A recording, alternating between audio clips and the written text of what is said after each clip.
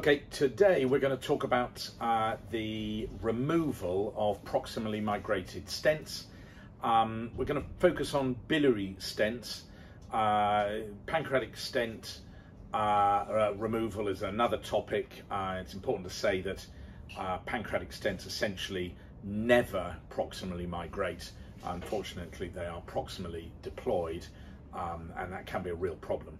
But it's not actually that uncommon to find that either straight plastic or um, uh, uh, metal, particularly fully covered metal stents, uh, may migrate uh, proximally and it can be quite a headache to remove them. Um, so here's an example. Here's a generic stent. I'm not going to discuss particularly whether it's uh, plastic or whether it's metal, but we're going to presume here that these this is a, a straight stent. Most of the same rules apply, and here is a choice of approaches for uh, removing those uh, uh, that stent and I'm going to give you a, a, few of my opinions as to uh, the relative use of these and how to go about it. Okay, so top of the list here is a balloon. Now, actually you'll hear quite a lot of people saying that, that an approach to removing a proximally migrated biliary stent is to put a balloon up beside the stent, uh, sorry, put a wire up beside the stent, blow the balloon up, um, either in the middle part of the stent or up here at the top part of the stent and pull down and the stent beautifully um, uh, gets drawn down into the duodenum as you pull back the balloon. It never works. Um, I can say that from my own experience over the years, I have never seen that, that technique worse, work. All that happens is a number of things.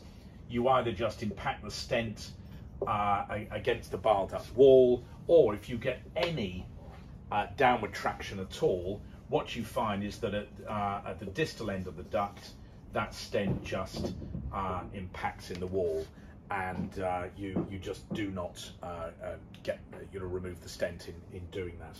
I think it is important to say that one wants to be sure that we've done our best to to have the um, the, the papilla as accessible um, for removal as possible. That may mean that, you know, following a previous sphincterotomy, you might wish to consider doing a, a balloon sphincteroplasty. Um, there is a real issue if the stent is, a, is above a stricture, uh, which can add to the problems. So first off, balloon. Forget it, does not work. Uh, the second option uh, is a a snare or a basket. I'm going to put those two uh, uh, together. Um, one can try freehand um, uh, insertion of the um, uh, of a snare or a basket, and then hoping to open the basket um, uh, with the, the, the snare or the wires of the basket around the, the, the lower end of that um, uh, that stent and closing on that and pull that out. That that does occasionally work.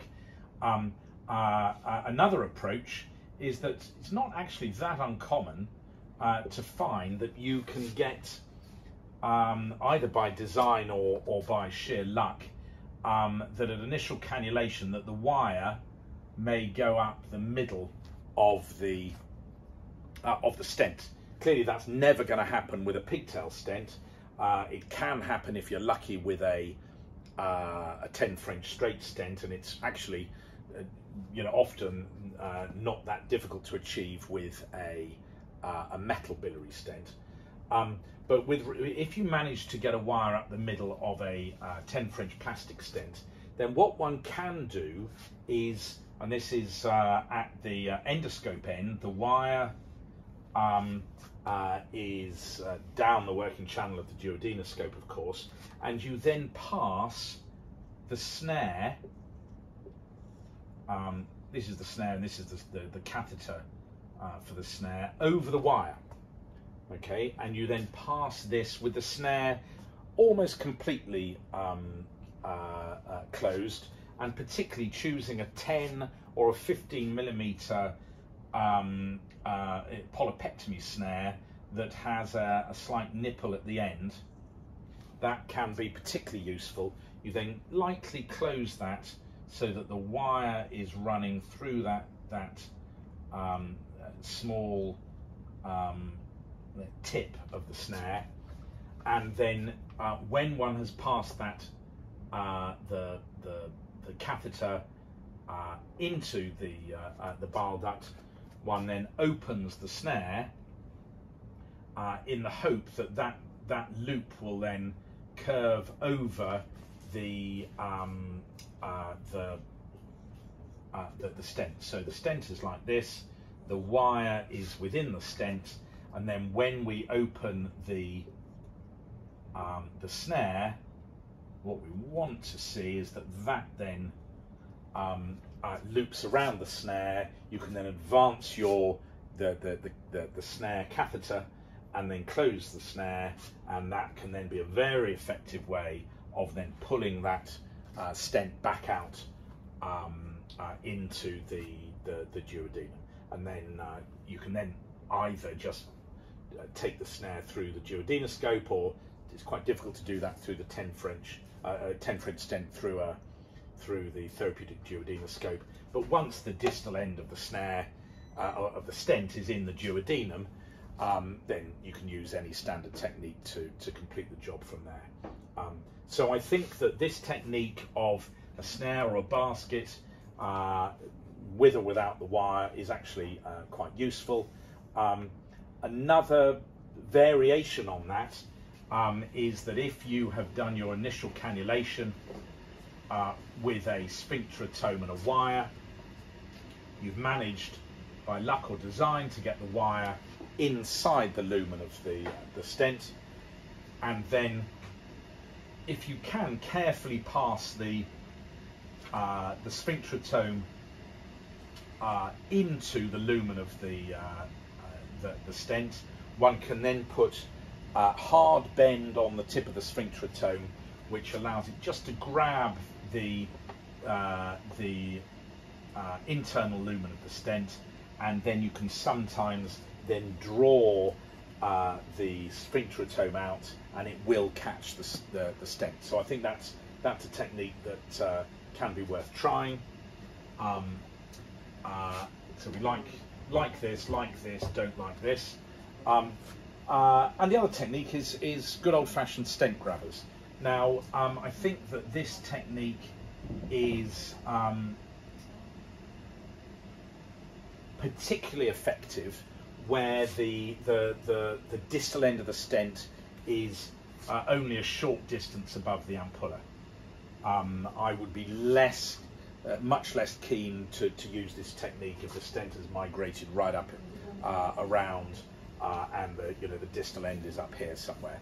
But you often find that these stents have, have disappeared just a little way in and then um, uh, one can use stent grabbers. The only thing I would say about this is the orientation is uh, quite often difficult. And the reason for that is that the, uh, the, the stent grabber is a stiff instrument and it's quite difficult to lift it um, uh, significantly with the, uh, uh, with the bridge of the duodenoscope. And so there's a tendency for it to come out quite flat. Um, and so and, and, one needs to be very conscious of the pancreas, the pancreatic duct, and also the fact that if you want to grab this stent, you need to be um, uh, the stent grabber needs to be advancing in this direction, um, and um, difficult to be specific uh, just on a whiteboard, but one really wants to try and get below as much as one can, um, and in order to be able to pass that stent grabber uh, upwards and avoid it just going laterally. Um, so that, that can be tricky. But if, uh, again, under fluoroscopy and a lot of care, um, if one can open the stent grabbers and gently advance uh, onto the stent, um, you have a reasonable chance of closing the stent grabbers and, and grabbing a bit of that, um, uh, you know, grabbing the, the, the, distal end of that, uh, uh, that stent and then drawing it out.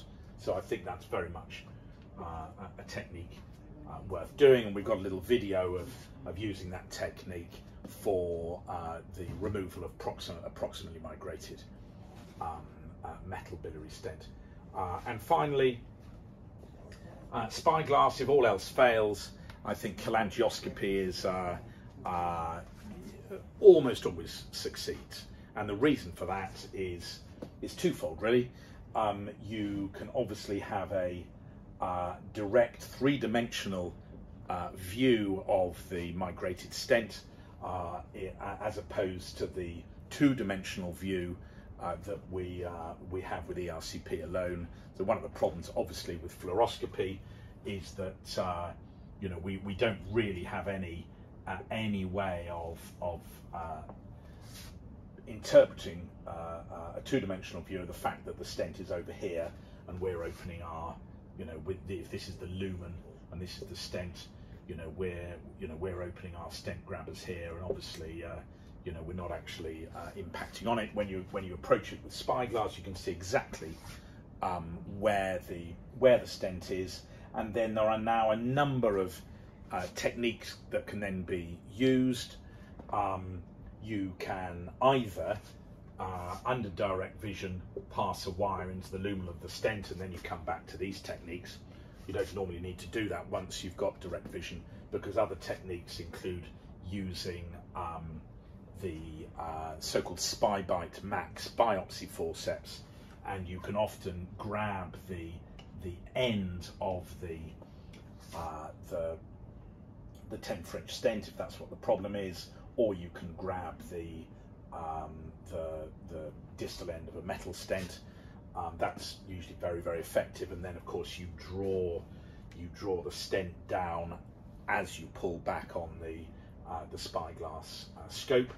Um, uh, and there are other bits of kit. There is a there is now a spy uh, snare, uh, which again you can use under direct vision to put around the stent, close the uh, close the snare, and then same technique of removing the the spyglass scope back into the duodenum, uh, and similarly a, a spy basket, uh, which uh, can be used to um, to be closed around the distal end of the the stent. That's particularly of relevance for smaller seven or ten French plastic stents. Um, less easy to do around a, a 10 millimeter diameter metal stent uh, within the barbette. Um, okay, so I think that those are the uh, those are a few uh, comments uh, about removing uh, proximally migrated uh, biliary stents.